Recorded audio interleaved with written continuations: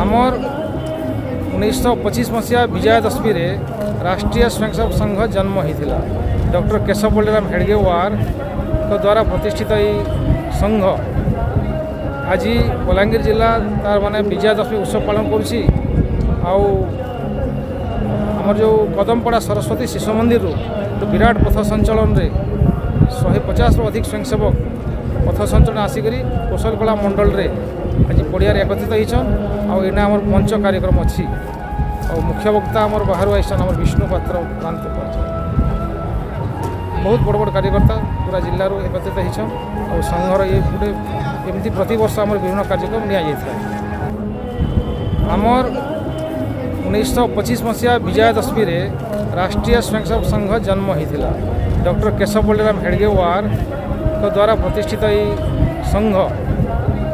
आज बलांगीर जिल्ला तार म विजयादशमी उत्सव पालन पान जो कदमपडा सरस्वती शिशु मन्दिर विराट पथ संचलन शहे पचास रु अधिक स्वयंसेवक पथ सञ्चालन आसिक कौशलकला पड़िया एकत्रित होना आम पंच कार्यक्रम अच्छी ଆଉ ମୁଖ୍ୟ ବକ୍ତା ଆମର ବାହାରୁ ଆସିଛନ୍ ଆମର ବିଷ୍ଣୁ ପାତ୍ର ପ୍ରାନ୍ତ ବହୁତ ବଡ଼ ବଡ଼ କାର୍ଯ୍ୟକର୍ତ୍ତା ପୁରା ଜିଲ୍ଲାରୁ ଏକତ୍ରିତ ହେଇଛନ୍ ଆଉ ସଂଘର ଇଏ ଗୋଟେ ଏମିତି ପ୍ରତିବର୍ଷ ଆମର ବିଭିନ୍ନ କାର୍ଯ୍ୟକ୍ରମ ନିଆଯାଇଥାଏ